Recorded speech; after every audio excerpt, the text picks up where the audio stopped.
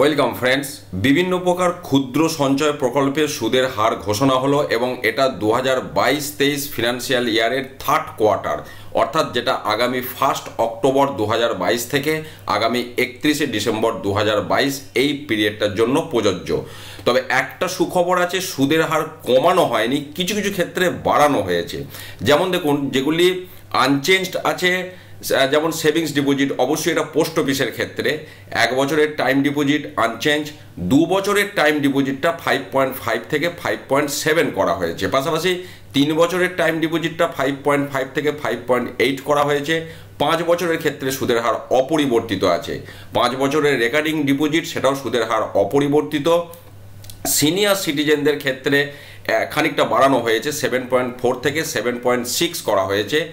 Monthly income account scheme যেটা, সেটাও সামান্য বেড়েছে সিক্স পয়েন্ট সিক্স থেকে সিক্স পয়েন্ট সেভেন এবার যেগুলির ওপর বিশেষ করে চাকুরিজীবীদের নজর থাকে, যেমন NSC national savings certificate change করা হয়নি। পাবলিক প্রভিডেন্ট ফান্ড বহু মানুষ করেন এবং অ্যাকচুয়ালি এই পাবলিক প্রভিডেন্ট ফান্ডে ফান্ড আর বিদ্যালয়ের যে জেনারেল প্রভিডেন্ট ফান্ড সুদের হারটা একই থাকে। এটাও কিন্তু কোনো রকমভাবে বাড়ানো হলো না। সেভেন পয়েন্ট ওয়ানই রইল।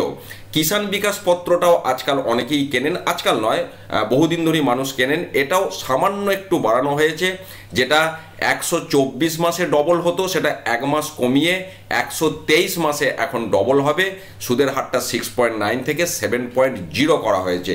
পাশাপাশি যাদের কন্যারত্ন আছে, সুকন্যা সমৃদ্ধি যোজনা অনেকেই করেন, এটাও সুদের হার অপরিবর্তিত আছে। তাহলে বিষয়টা যা দাঁড়াল বিশেষ করে লক্ষ্য যেটাতে থাকে পাবলিক প্রভিডেন্ট ফান্ড এটাতে কিন্তু সুদের হার বাড়ানো হলো না। তার মানে বিদ্যালয়ে জেনারেল প্রভিডেন্ট ফান্ডেরও সুদের হার কিন্তু বাড়ল না। এনএসসিরও সুদের হার বাড়ল না। কেভিপি এক মাস কমানো হলো। কেবিবির টাকাটা ডবল হওয়ার ক্ষেত্রে।